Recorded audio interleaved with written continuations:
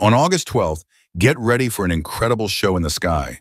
The Perseid meteor shower is set to be one of the most striking meteor displays of the year. Known for their bright and swift meteors, the Perseids occur between mid-July and late August. This year, the peak is expected on the night of August 12th and the early morning of August 13th. During this time, up to 100 meteors per hour will streak across the sky, creating a breathtaking sight as they disintegrate in the Earth's atmosphere. Named after the constellation Perseus, the Perseids are the result of the Swift-Tuttle comet, which orbits the sun every 133 years. On the night of the 12th, the moon will be in its first quarter and set shortly after midnight, giving dark skies until dawn, a perfect chance to observe fantastic meteors.